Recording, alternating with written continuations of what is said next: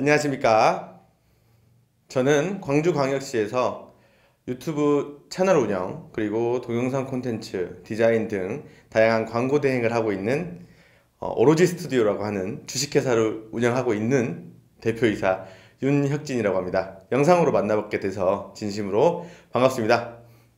지금부터 영상 편집 강의를 알려드릴 건데요. 우선 필요한 것은 이 핸드폰 하나만 있으면 되시겠습니다. 자, 근데 영상 편집을 하시려면 여러분들께서 영상을 좀 찍어 오셔야겠죠? 여러분들께서 갖고 있는 사진으로 편집도 가능하지만 아주 간단하게나마 여러분들의 매장이나 아니면 소개하고 싶은 상품들을 간단하게 설명하는 그런 영상이라도 아주 짤막하게 30초든 1분도 괜찮고 영상을 찍어 오시면 실습하시기 훨씬 더 편할 겁니다. 자, 우선은 그렇다면은 키네마스터라고 하는 프로그램을 다운을 받아 주셔야 되는데요. 어, 간단하게 플레이스토어나 네, 구글 플레이에서 간편하게 무료로 다운을 받을 수가 있습니다. 키네마스터를 처음에 오픈하시면 화면이 이렇게 나올 텐데요. 이때 새로 만들기 버튼을 눌러서 새 프로젝트를 만들어 주시면 됩니다. 이때 화면 비율을 어떤 걸로 하는 게 좋냐면은 16대 9, 9대 16. 이 두 가지가 일반적으로 우리가 휴대폰으로 촬영을 했을 때 가장 많이 쓰는 비율이기 때문에 세워서 쓰는 것보다 눕혀서 쓰는 것이 훨씬 더 유튜브라든지 다른 영상에서 많이 쓰일 수 있습니다.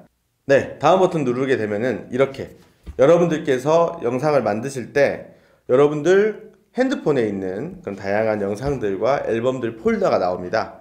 우리가 일반적으로 많이 활용하는 폴더가 바로 그 카메라 폴더인데요. 그 카메라 어플에서 찍은 영상들이 다 저장되는 폴더가 바로 이 카메라 폴더입니다. 카메라 폴더로 한번 들어가 볼까요? 자, 우리가 가져올 영상을 이렇게 선택을 해주시면 되겠습니다.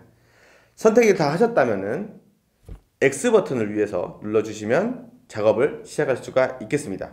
자, 지금 현재 여러분들이 보고 계시는 이 장면은 영상이 선택이 되지 않았습니다.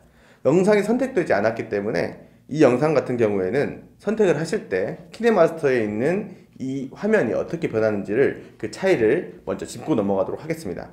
지금 현재 영상을 선택하지 않았을 때는 이렇게 오른쪽 위에 동그라미 버튼에 미디어, 레이어, 녹음, 오디오라고 하는 메뉴를 우리가 선택할 수 있는 동그라미 버튼이 있죠. 하지만 영상을 한번 선택해 보도록 하겠습니다. 영상을 이렇게 딱 선택을 해보시면은 우선 영상이 노란색 테두리로 둘러싸여 진다는 것과 오른쪽이 이렇게 다양한 메뉴들이 나옵니다.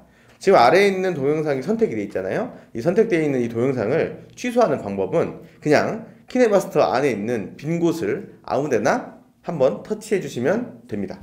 그래서 앞부분을 잘라야 되는데 그렇다면은 우리가 지금 이야기를 시작하는 그 부분을 확실히 찾아줘야 됩니다. 그래서 살짝 이렇게 재생헤드를 옮겨주시면 되는데 가위로 이 재생헤드가 있는 이 빨간색 부분을 싹둑 자를 수 있는 컷 도구를 한번 불러오도록 하겠습니다.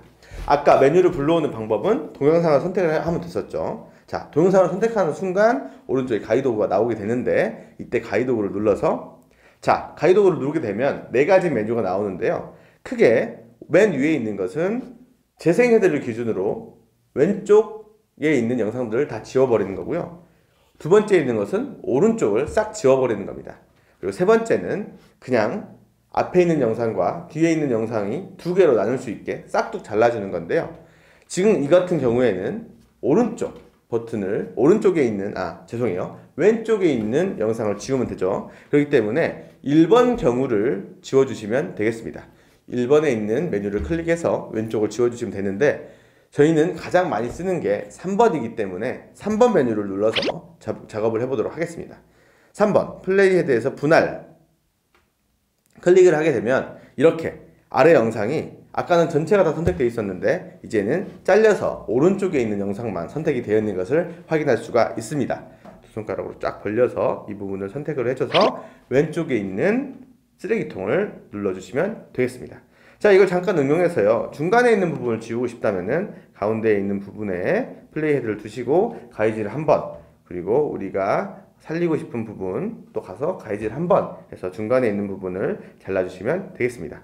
어, 이러한 방법을 통해서 우리가 필요 없는 부분들을 잘라주시면 금방 키네마스터로 우리가 혹시라도 중간에 말을 실수하시거나 아니면 필요 없는 말을 했다거나 아니면 좀 못생기게 나왔거나 내가 마음에 안 들게 영상 촬영이 됐거나 했을 때 그 부분들은 우리가 이렇게 잘라주면 되겠습니다.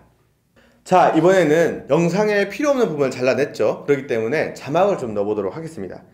많은 분들께서 자막을 다 넣어야 된다고 생각을 많이 하세요. 근데 그건 강박관념이고요. 다 넣을 필요 없이 우리가 중요한 내용만 전달을 하면서 그렇게 해서 어, 다 넣게 되면 너무 고생하니까 짧게 짧게 필요한 내용만 넣어보도록 하겠습니다.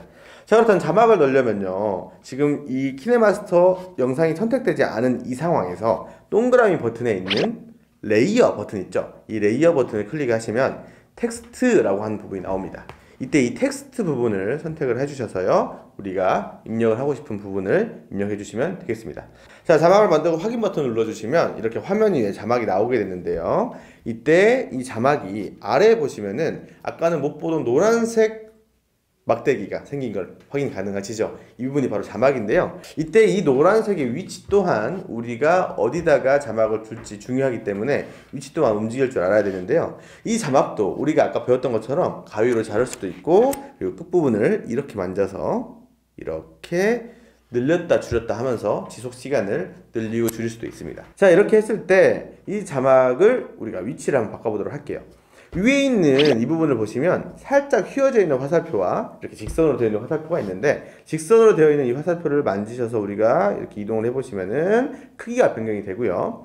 그리고 오른쪽에 있는 살짝 휘어 있는 화살표를 만지시면은 그 자막이 이렇게 회전을 하게 됩니다.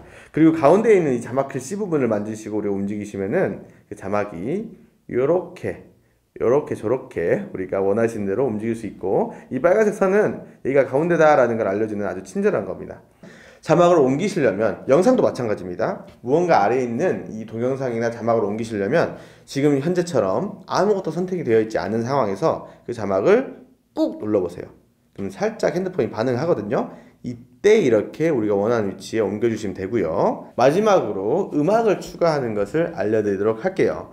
오디오라고 되어 있는 부분이 이렇게 아무것도 선택이 되어 있지 않았을 때 오디오라고 하는 부분이 있습니다. 이 오디오 버튼을 클릭하시고요. 여러분들은 아마 다운을 안 받았을 텐데 저는 다운을 받았기 때문에 이렇게 음악들이 있어요. 근데 가운데 있는 이제 미디어 에셋 받기라고 하는 버튼 클릭하셔도 되고 위에 있는 집 버튼 클릭하셔서 또 우리가 원하는 음악을 다운받아 주시면 되겠습니다.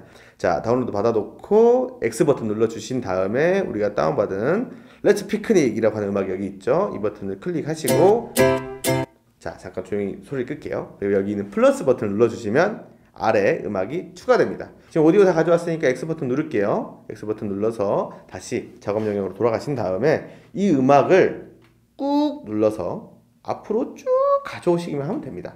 똑같습니다. 이렇게 해서 음악을 넣어주시면은 재생 한번 해보도록 할게요. 여러분 안녕하세요. 반갑습니다.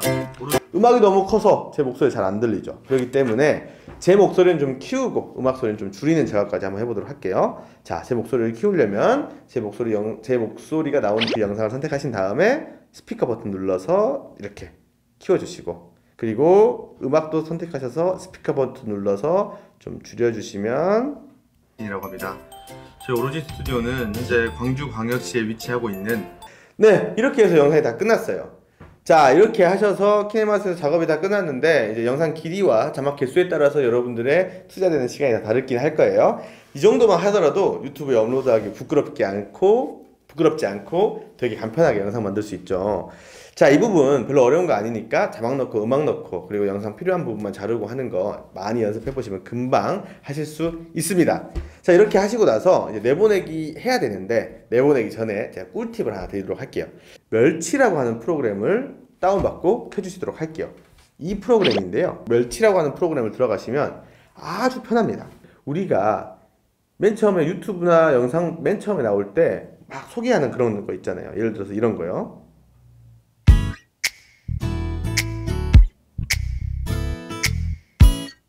이런 거 있잖아요. 우리가 이 영상들을 다 바꿀 수는 색깔이나 이런 것도 바꿀 수는 없지만 안에 있는 사진이나 글자를 바꿀 수 있는 아주 좋은 어플이에요.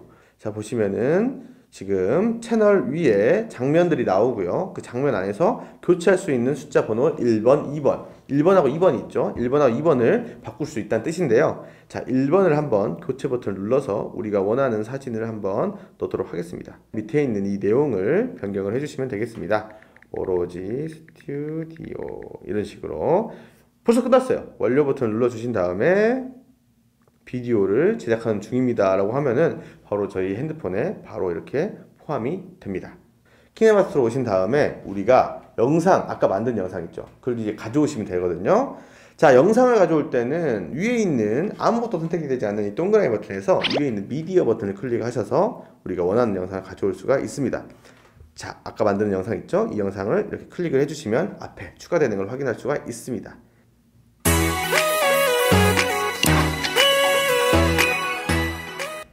여러분 안녕하세요. 네, 이렇게 해서 아주 간편하게 유튜브 영상을 그럴싸하게 하나 만들었죠. 이제 이 영상 전체를 우리가 밖으로 내보내게 하는 방법은 오른쪽 위에 있는 이 버튼을 클릭을 하셔서요. 여기서 우리가 어떤 영상 화질에 화질로 찍었는지 잘 기억하셨으면은 그 화질에 맞춰서 오른쪽 frame rate는 거의 무조건 30으로 맞춰주신 다음에 저장 버튼 눌러주시면 광고가 나옵니다. 이것은 말 그대로 어 이제 유료 버전을 설치하라는 그 의미인데요. 건너뛰기 하셔도 문제없이 설치가 가능하고 영상을 어, 다운받을 수 있습니다.